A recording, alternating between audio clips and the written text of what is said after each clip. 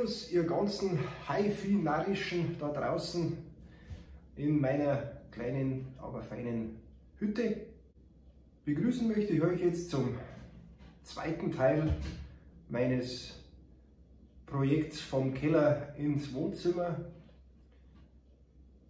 Wie ihr schon gesehen habt im letzten Video, die Bestandsaufnahme ähm, hat sich ein bisschen in Länge gezogen, weil doch einiges an den Plattenspielern zum Austauschen ist. Und genau das werde ich heute machen. Dazu gehen wir wieder zu mir in die Werkstatt, werden uns wieder einige Schraubenzieher, Zangen und sonstige Utensilien raussuchen und dann fangen wir mal endlich an, an den Teilen rumzuschrauben. Ich hoffe, ihr habt ein bisschen Spaß, so wie ich. Und Daumen hoch würde mir gefallen, ein Kommentar oder vielleicht ein kleines Abo mit der kleinen Klingel. Bis gleich, wir sehen uns wieder hier an der Bar. Bis später. Nachdem ich mich jetzt dazu entschlossen habe, mir einen, ein Frankensteins Monster zu bauen, wir werden jetzt den Tonarm Absteller abbauen, ausbauen und die, den Tonarm Heber und Senker. Zudem heben wir das Ganze wieder an. Jetzt kommen wir an alle Punkte genau hin, die wir brauchen. So, als erstes müssen wir diesen Bügel entfernen. Dazu drücken wir ihn leicht nach unten. Dann haben wir diesen Riegel, den wir entfernen können. Vorsicht, darunter ist eine Feder, nicht dass uns die entgegenspringt.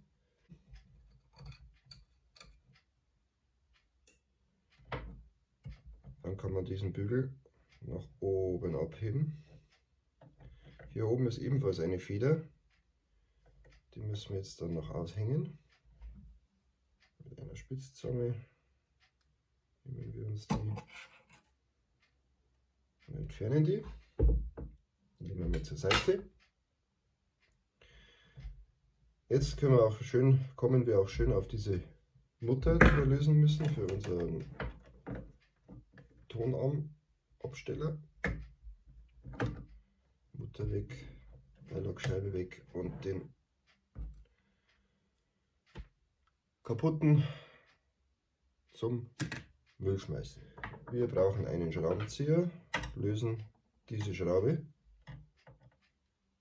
auch zur Seite und schwupps haben wir unser Gelenk, Tonarmheber, Senkergelenk freigelegt.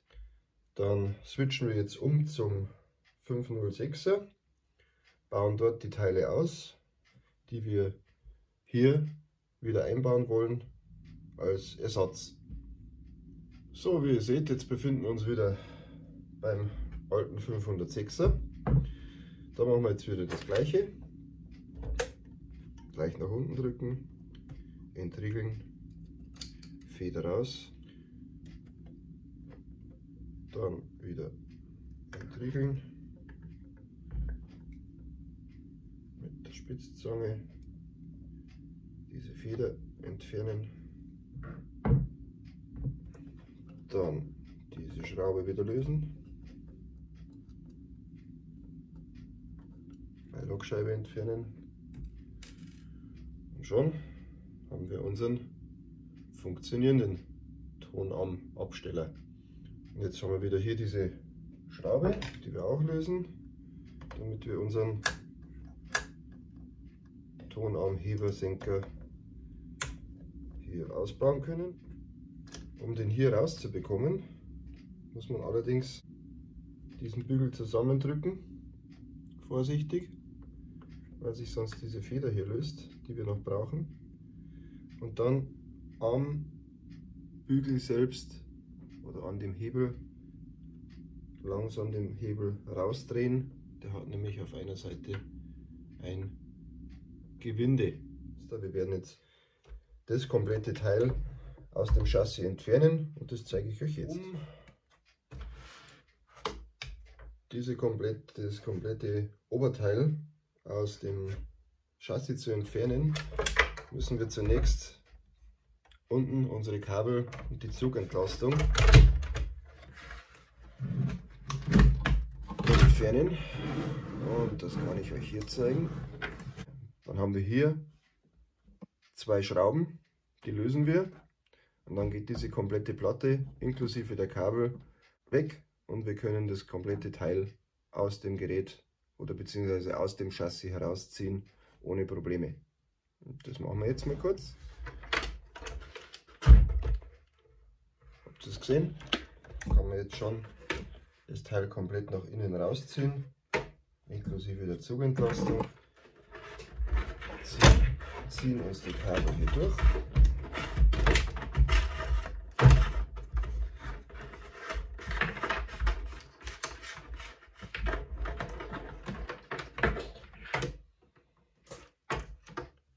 Und haben somit unser Chassis komplett freigelegt zur Reinigung beziehungsweise auch um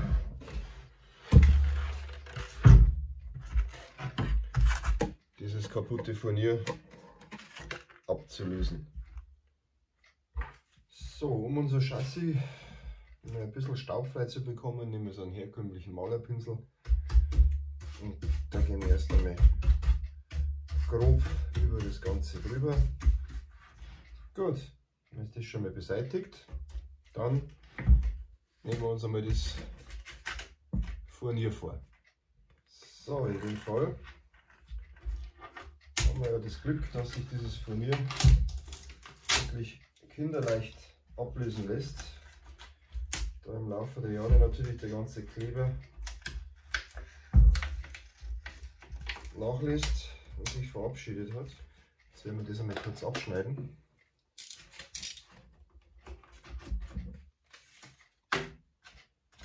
Genauso hier drüben. Weil wir hier nämlich unser kleines Dualemblem haben. Dann gehen wir mit einem ganz kleinen flachen Schraubenzieher da drunter und vorsichtig nach oben herausdrücken und einen kleinen Stift nur reingesteckt. Wie gesagt, das machen wir auch wieder hübsch, das kleine. Geht daran, dass ich, dass wir das Ganze hier neu beziehen. Und zwar mit dieser Folie, die haben wir aus dem Internet bestellt. Holzoptik schwarz. So, damit ich jetzt weiß, in welcher Breite ich diese, diese neue Folie, lege ich es da nochmal her, die welche Breite diese neue Folie ich zuschneiden muss. Dann nehmen wir das ein Stück von dem alten, dem alten Laminat und dann messen wir das genau aus. In dem Fall haben wir jetzt hier 6,8 cm. Diese 6,8 cm bzw. 7 cm schneide ich mir runter. Was noch wichtig ist, wir brauchen auch die komplette Länge. Ich nehme mir den, den größten Meterstab der Welt messen wir jetzt diese Länge aus. In dem Fall haben wir jetzt hier 33,5 cm. Die nehmen wir mal 2.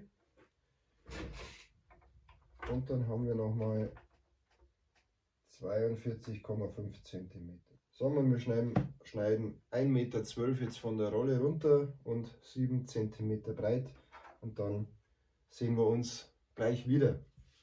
Gut, nachdem wir jetzt diesen Streifen mit 1,12 Meter mal 7 cm runtergeschnitten habe, können wir loslegen, dass wir das Ganze hier auf unser altes Furnier auf, äh, auf unsere alte Pressspanplatte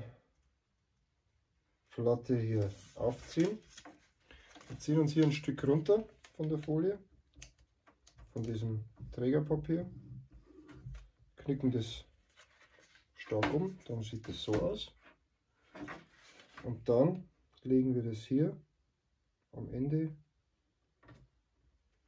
und direkt an dieser Holzkante mal kurz an, drücken das ein bisschen fest. Ich hoffe, man sieht das jetzt an der Kamera. Dann ziehe ich das hier so rüber bis ans andere Ende. Jetzt sieht man hier noch den Rest vom Holz und ich gehe jetzt so weit rüber, dass ich genau an dieser Kante bin, so wie hier drüben. Ziehe mir hier das Trägerpapier leicht raus und ziehe schon mal an. Festhalten. So, eine andere Hand jetzt. Eine handelsübliche Filzrakel. Und dann fangen wir hier einfach an, das Ganze festzudrücken bis zu unserem Trägerpapier, das da drunter ist. So. Dann ziehen wir wieder weiter. Wir halten wieder hier fest und ziehen wieder das Trägerpapier so 5 bis 6 cm weiter und achten immer darauf, dass wir hier am Ende unseren Finger drauf lassen. Sonst verziehen wir die ganze Folie und die geht schief auf unser Chassis. Und so machen wir jetzt weiter, bis wir kurz vor der Ecke sind. Immer mit einem gewissen, gewissen Druck arbeiten, nicht zu viel, nicht zu wenig, sonst kriegt man Luftblasen rein.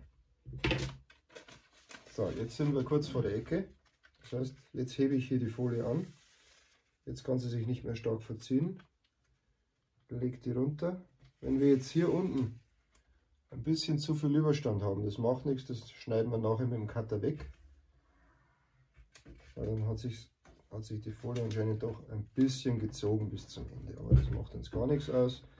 Wir rakeln jetzt über die Ecke noch drüber. Nicht zu fest an der Folie ziehen, weil sonst uns das Ganze hier, weil sich das Ganze sonst hier verzieht. Jetzt sind wir über die Ecke. Das heißt, wir geben das Ganze auf die lange Seite. So. Dann haben wir wieder unser altes Spiel. Wir setzen hier die Folie an.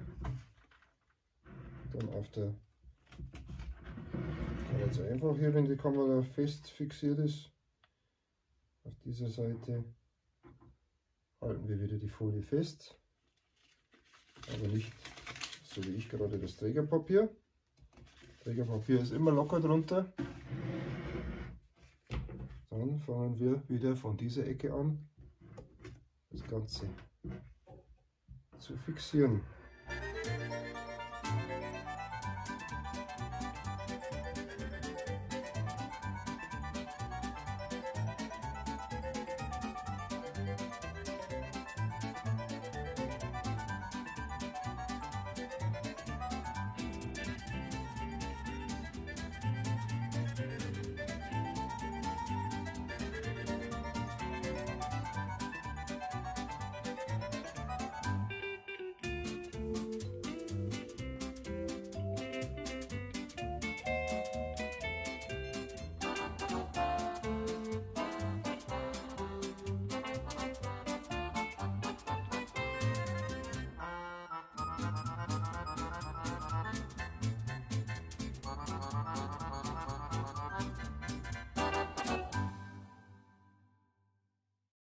Jetzt kommen wir zum Ende. Jetzt ziehen wir uns das Trägerpapier einfach ganz locker weg, lassen wir die Folie fallen, machen gar nichts großartig und haben das Ende erreicht. Gehen wir mit der scharfen Kante von der Rakel, gehen wir hier noch in die Ecke rein, weil hier ist ja der Kunststoff, hier ist das Holz. Das werden wir aber noch abcutten, das Ganze. So, jetzt haben wir die ganze Folie aufgezogen. Jetzt werden wir das Ganze noch zuschneiden. Hier haben wir unsere Kante, wo der Übergang ist vom Holz zum Kunststoff. An dem schneide ich ganz vorsichtig nur auf der Folie entlang.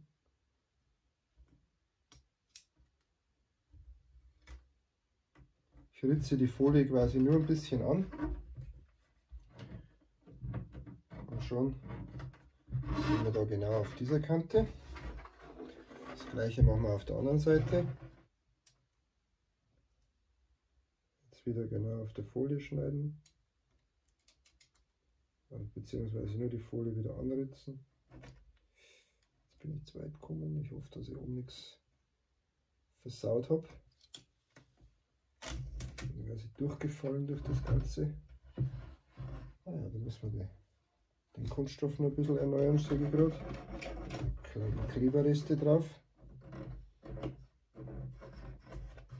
Gut, dann haben wir da soweit. Dann können wir uns wieder in die sitzende Position begeben und arbeiten uns jetzt von dieser Ecke bis zu dieser Ecke. Und hier haben wir unsere, unseren 45 Grad Winkel, den wir natürlich auch schön hinbekommen wollen. Aber wir fangen jetzt erstmal in dieser Ecke an. Das heißt quasi, wir gehen jetzt hier mit dem Daumen entlang und knicken uns langsam die Folie, die ja jetzt auf der Rückseite schön klebt, knicken uns die langsam ganz dezent über die Kante, also eine schöne scharfe Kante und eine klebende Kante vor allem haben und sind jetzt schon im oberen Bereich quasi so weit, dass wir schon wieder nach innen knicken könnten. Das wollen wir aber noch nicht machen, weil wir wollen uns erst mit dieser Ecke hier beschäftigen. So, jetzt sind wir hier an die, dieser Ecke. Die drückt sowieso noch nicht richtig, weil ich habe es nur bis hierhin ich es festgedrückt. Jetzt machen wir einen Cut und zwar gehen wir jetzt an diesem 45 Grad Winkel, hoffen man erkennt gehen wir senkrecht nach oben an der Folie. Jetzt kann ich nämlich mich weiterarbeiten in die Ecke und habe quasi das Eck schon mal soweit fertig vorbereitet, dass ich mir hier einen 45 Grad Cut machen kann. Und jetzt dann schneide ich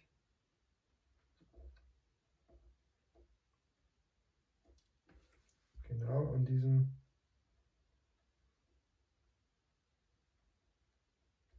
genau diesen Punkt entlang. Ziehen wir eine Folie ab. Ich habe hier eine saubere, einen sauberen 45 Grad Winkel und hier den Rest der Folie. So, das gleiche machen wir jetzt auf der anderen Seite und dann arbeiten wir uns hier weiter.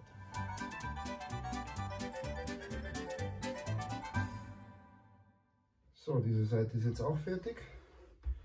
Jetzt können wir uns mit der Front beschäftigen.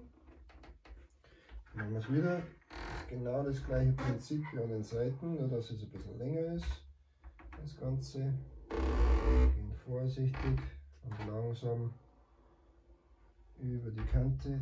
So, und jetzt haben wir wieder hier unten drunter und hier drunter unsere Kante vom Schnitt. Hier machen wir wieder das gleiche.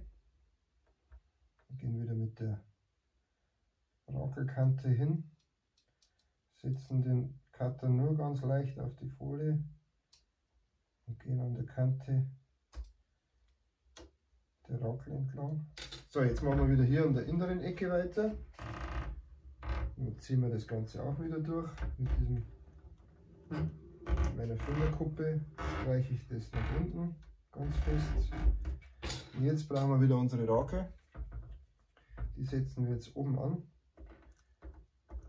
in der Mitte und drücken mit der scharfen Kante der Rakel, nicht mit dem Filz, sondern mit der scharfen Kante von oben nach unten in diese Ecke bis hinunter zum Kunststoff.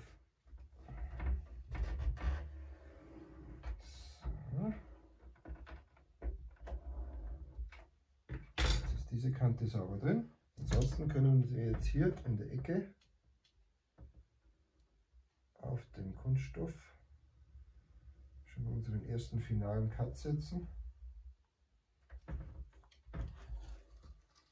Ziehen das ab. Haben, eine, haben die erste Seite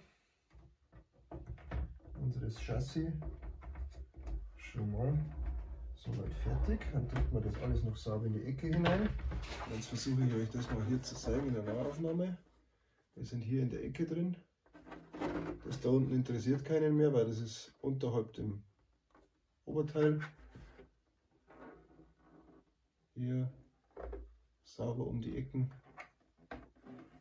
und hier an der Seite und hier im hinteren Bereich.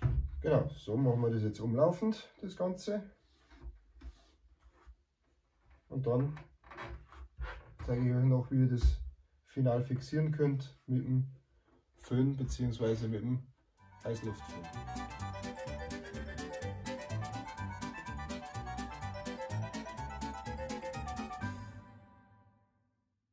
So meine lieben Freunde, jetzt wird es heiß bzw. heiß und laut.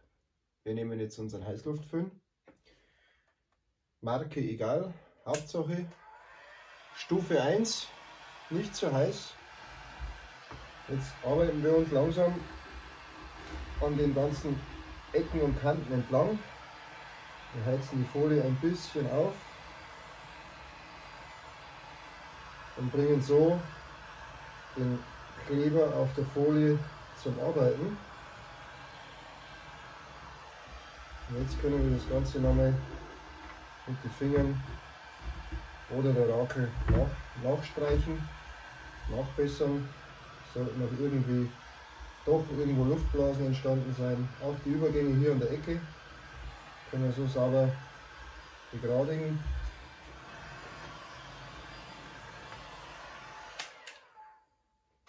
So. Ich muss sagen, das Endergebnis ist gar nicht schlecht geworden.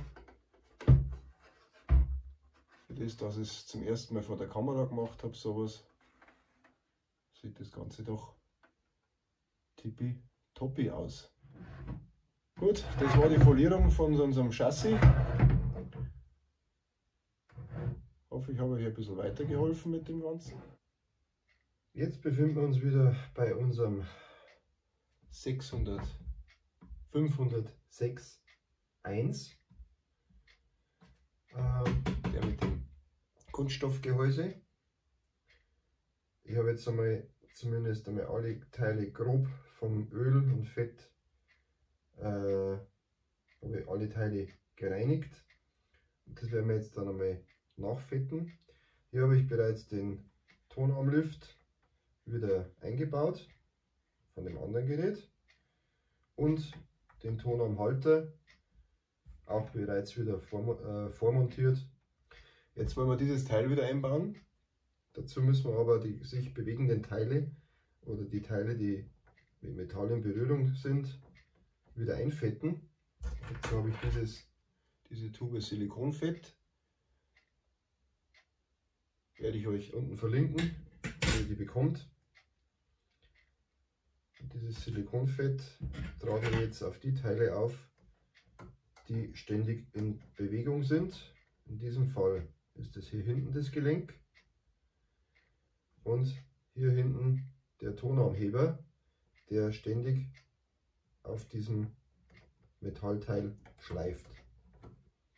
Das heißt, wir machen hier, wir können hier sehr sparsam arbeiten, das ist ein ganz kleiner Klecks. Und genauso hier, ein bisschen Fett drauf. Und dann war es das eigentlich schon. Mehr brauchen wir da gar nicht. Dann hängen wir unsere schöne kleine Feder wieder ein. Genau, legen das da ab. Hier hinten einhängen. Hier in der Mitte einfädeln. Dann haben wir unsere Feder, die wir hier wieder reinmachen. Und unsere Verriegelung setzen wir wieder